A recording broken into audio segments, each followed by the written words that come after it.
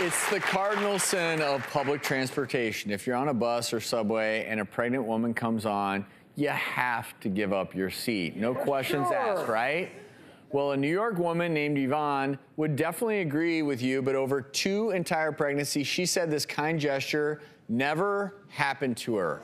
Well, that's New York. Until recently, that is. And she was so moved by this enormous act that she personally gave the kind gentleman a token of her appreciation. It went viral. A trophy that read number one decent dude, first man to offer subway seat to pregnant woman throughout two pregnancies. Whoa! Look at that. That's awesome. Wait.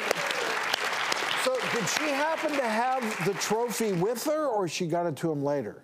Well, no, she was carrying it with her because Waiting for somebody to. wait because women would offer their seat, but a man never did. So, and it's sad because she was actually eight months into her second pregnancy, so she was almost out of time.